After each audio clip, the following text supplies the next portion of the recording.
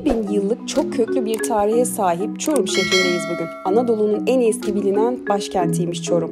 Binlerce yıl Anadolu'nun en eski ve en güçlü uygarlıklarını ev sahipliği yapmış. Milattan önce 2000 yılından sonra Hititler Anadolu'ya gelerek burada bir devlet kurmuşlar ve ismine Hatti ülkesi demişlerdir. Çorum Hititlerden sonra sırasıyla Firik, Pers, Pontus Krallığı ve Bizans gibi farklı farklı imparatorlukların hakimiyetine girmiş bir şehir. Çorum 1071 Malazgirt Savaşı'nın ardından 1075 yılında Danışment Ahmet Gazi tarafından Türk hakimiyetine geçmiş. Zaten bu tarihten sonraki yapılar da Selçuklu ve Osmanlı dönemine ait izler taşımaktadır.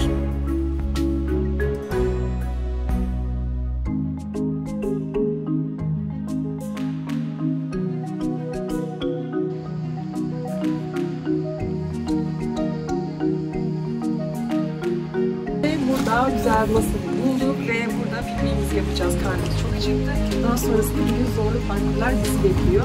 Güzel geçeceğine eminim.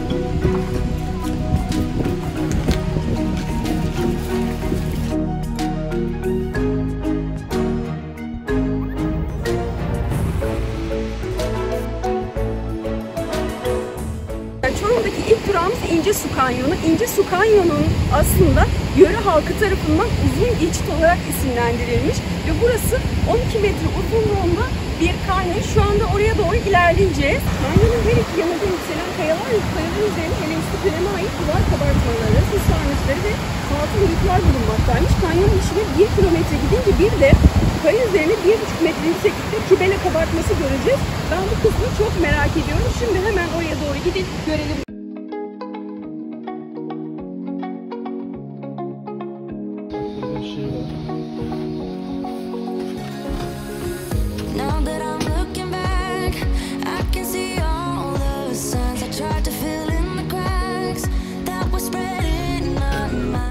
Evet burada e, taşlar aşağıya düşebildiği için kayalardan şöyle üstlerine metalden ne denir buna?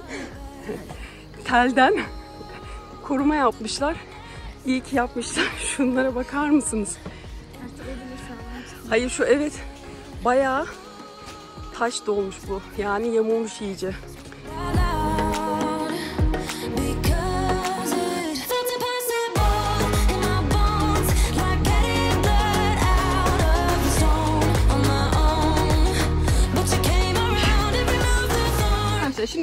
Kabartması dediğimiz bir kilometrelik yolda ilerliyorsunuz kanyona ve şuradaki kabartmayı görüyoruz. Bu kabartma yaklaşık bir buçuk metre uzunluğundaymış. Bu e, kabartma aslında şöyle yani burada çok belli olmasa da taht üzerine oturmuş ve sol elinde bir aslan yavrusu tutan bir tanrıçayı e, ifade sembol ediyormuş ve aynı zamanda Helenistik döneme ait en büyük e, bu kabartmalardan birisiymiş bu da.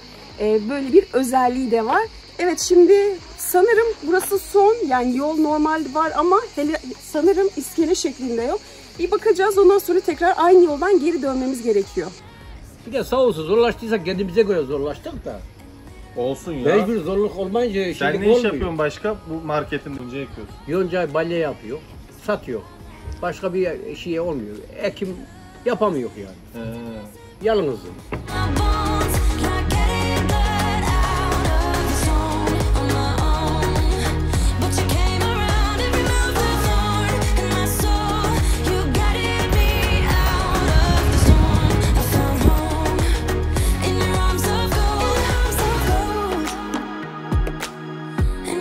Ya Şu anda Şapinua'ya geldik. Şapinua ne peki diye bir soracak olursanız burası Hitit İmparatorluğu döneminde idari merkezlerden birisiymiş. Bunun kanıtı da Tokat'taki bir höyükten çıkmış bir e, yazılı kaynakta varmış. Şimdi burayı gezelim ve bir görelim bakalım. Gerçi bilmiyorum buradan bakınca sadece kayalar görünüyor ama yanına yaklaşmak lazım.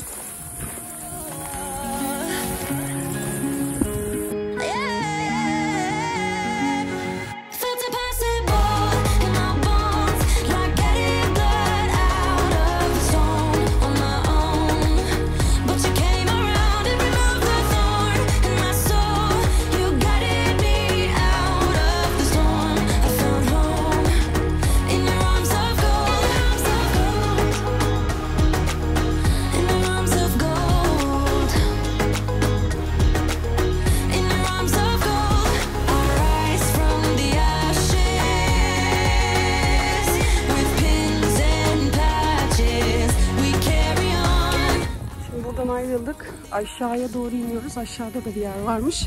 Bir de oraya bakacağız. Dolik.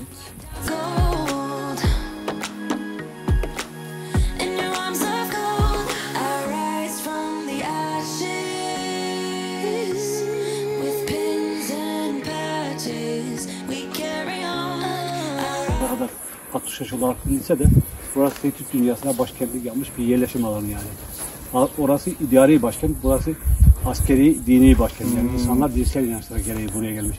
Aslında bu vadiye baktığımız zaman büyük bir şehir hayal etmemiz lazım ama işte günümüze kadar gelememiş. Bugün Boğazkale'de 114 yıldır çalışma yapılıyor. Aynı dönem, aynı medeniyet olmasına rağmen. Burada 30 yıllık bir çalışma var yani. Burada makine atarın her şeyi deforme etmiş. Bir de müzemiz yok. 30 yıldır çıkan bütün eserleri biz Çorum Müzesi'ne gidiyoruz. Birinci dolaştığımız bina orası en az 3 katlı direkt kralın oturduğu idari bir bina diyor. Yazılı kaynaklar yok. Kral bu binada oturur. Gerek din başkanı, gerek asker komutanı, gerekse vadetli 31 kişilik bir nüfusa hükmederdi diyor. Burası da ticari bir bina. Yani 4000 yıl önceki bir alışveriş merkezi. Yani insanlar geliyor burada işte iht- ihtiyaçlarına gideriyor yani alışveriş yapıyorlar. Aynı zamanda şey diyor krala yakın bir bina olduğu için kralı besliyor yani. Kuvvetli bir nüfus olduğu için aslında vade çok sayıda bu binalar olması lazım ama ama deform oldu ama işte toprağın altında şeyler var.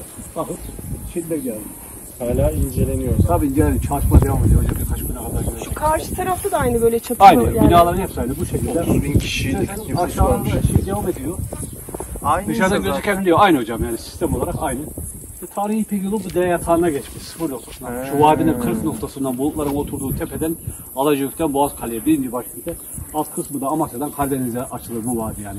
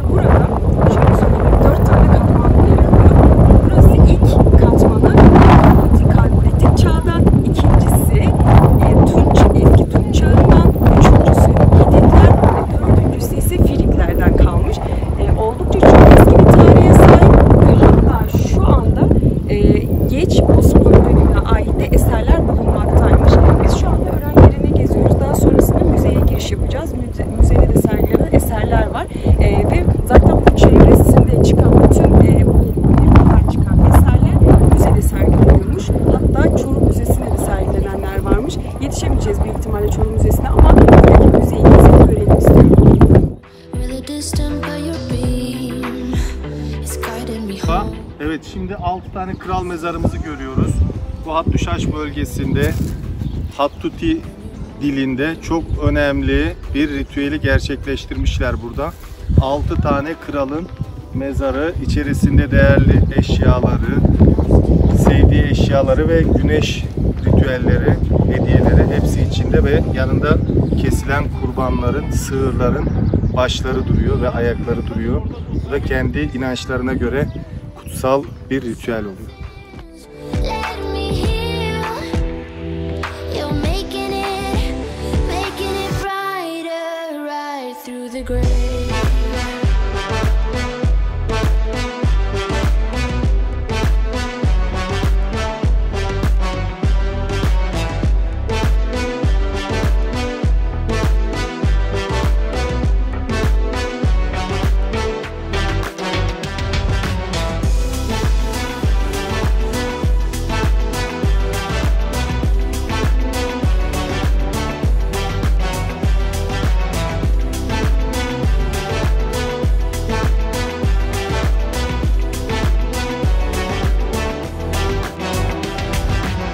You with the text XO. My ace boom boom, no flex, no. I won't gas you up like petrol. Boğazköy Hattuşa ören yeri Hitit Devleti'nin en eski çekirdek bölgesinin merkezi konumundaymış. Yapılan arkeolojik kazılar sonucu ortaya çıkarılan eserler bu ören yerinde sergilenmeye devam etmekte. Hattuşa 1986 yılında UNESCO Dünya Kültür Mirası listesine alınmış ve görülmeye değer yerlerin başında gelmekte. Hattuşa'nın ilk keşfi Fransız mimar Charles Texer tarafından 1834 yılında oluşmuş, unutulmuş Hattuşa bu say- sayede dünyaya tanıtılmış. Ören yerindeki kazılar 1906 yılında başlatılmış fakat 1931 ve 1939 yılları arasında 2. Dünya Savaşı döneminde zorlu bir aradan sonra 1952 yılında kazıları tekrar devam edilmiş. Eski Tunç çağında bulunan burada sürekli yerleşim bulunmaktaymış ve eski Tunç çağının hemen ardından Asur ticaret koloni devri söz konusudur. Yazılı kaynaklara göre Kuşarlı Anita, Hattuşa Kralı Pijusti'ye M.Ö. 2000 yılında yenmesi üzerine şehre ciddi zarar vererek lanetlenmiş. Anita her ne kadar lanet etse de aksi olur ve Hitit Kralı 1. Hattuşili tarafından M.Ö. 1600 ve 1650 yıllar arasında şehir başkent yapılmış.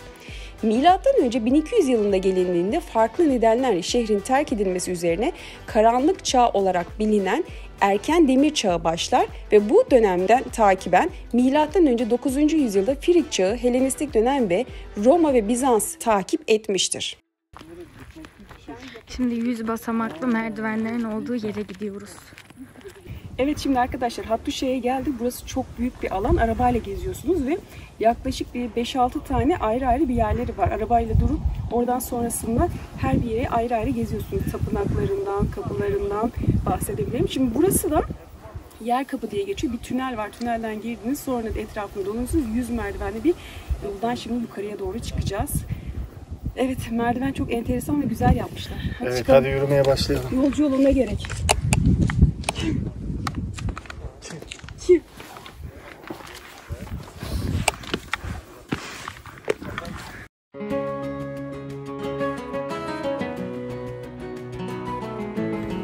Son olarak sanırım Büyük Kale'ye geldik. Büyük Kale'de bu e, kralların sarayı bulunuyormuş.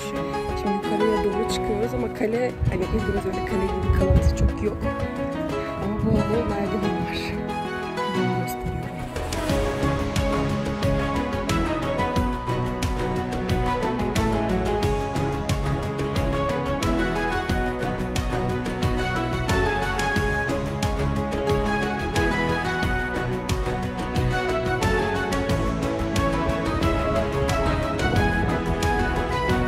Baktık, gördük. Kralın sarayından eser bu kadar kalmış. Hattuşa'nın kuşkusuz en etkileyici yeri ve benim de çok sevdiğim Yazılı Kaya Tapınağı. Boğazkaya öğren yerinden araçla sadece 1.7 kilometre uzaklıkta bulunan Yazılıkaya inanın sizi çok şaşırtacak. Yüksek kayalar arasında gizli kalmış tapınakta kral ve kraliçelerden kabartma halinde kayalara işlenmiş.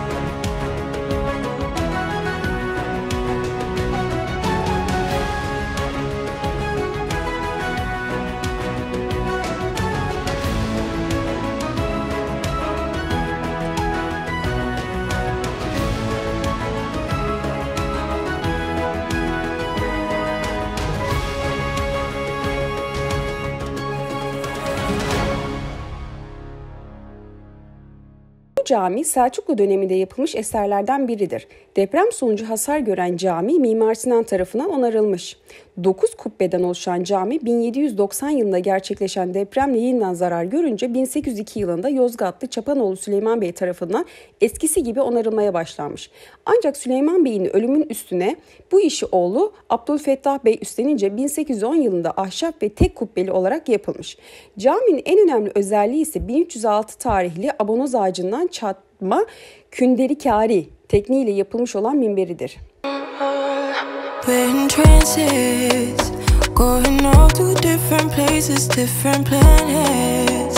Watch your aura pass me by, losing balance.